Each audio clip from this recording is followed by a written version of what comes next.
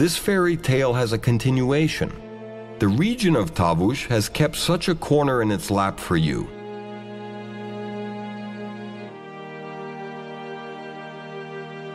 Lastiver dessert, medieval cave dwellings, the river Khachguburur, and waterfall. Nobody wants to leave this place. This is a place which is in harmony with your soul, with all of its tints.